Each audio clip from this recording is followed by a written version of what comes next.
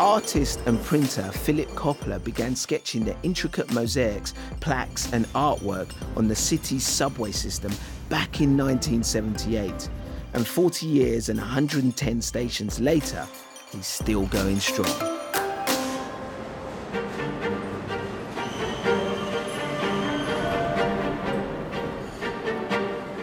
When I began my study, a voice inside my head said, you know, why don't you see how conscious people are of the subway art after all? I'd say, um, are you aware of the art in the subway?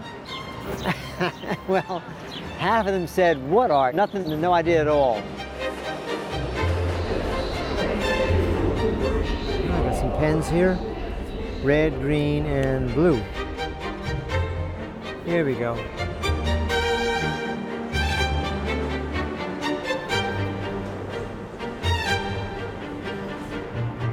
My study of the subway really began years ago when I was eight years old. My father told me that down in the subway station in New York there were pictures on the walls.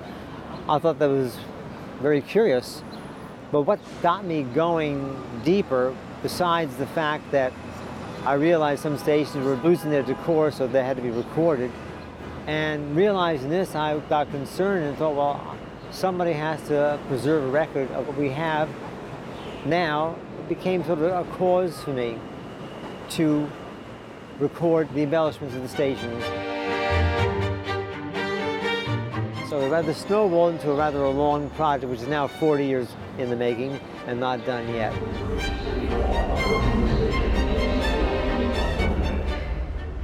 Well, actually, the earliest stations were built 1900, 1904, and at that time uh, was a, uh, great movement called the City Beautiful Movement, when the, uh, the mayor and his council decided that they wanted to establish New York as noble and attractive a city as the old European capitals were, are, which the Americans and New York has always looked up to. And the mayor decided, well, you know what, we can do that right here in New York also. A good example of the very high design elements in, a, in the subway station we found at Borough Hall in Brooklyn, the first subway station and the first subway line into Brooklyn. It's just like one of the uh, dozen designs that Lafarge cre created just for this station alone. But it's, uh, it's worth it. So what I do when I do my, my project, I have to do it at night, or weekends. Often you'll find me at the library or in the, on the subway drawing pictures of what's on the wall and taking notes on how Many mosaics are there, what color are they, the general description of any station.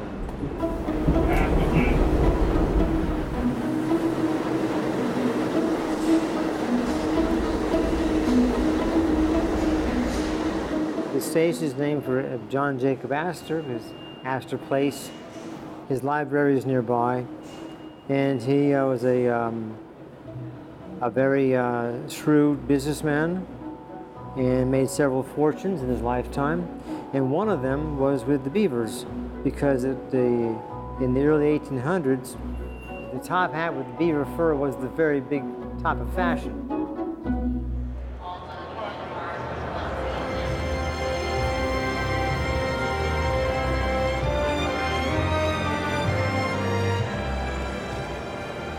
I've been self-publishing my work ever since I began.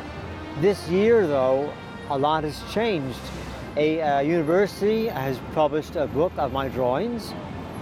My drawings and my notebooks, the real thing, the originals, have been on display in Grand Central Terminal.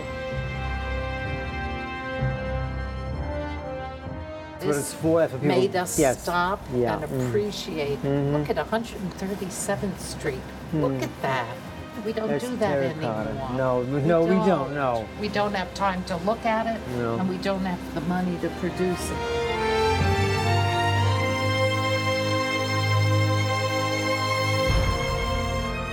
Since I've started this study, being, I hope, somewhat of a thorough person, I intend to finish it, which means I really have to visit all the stations in the system.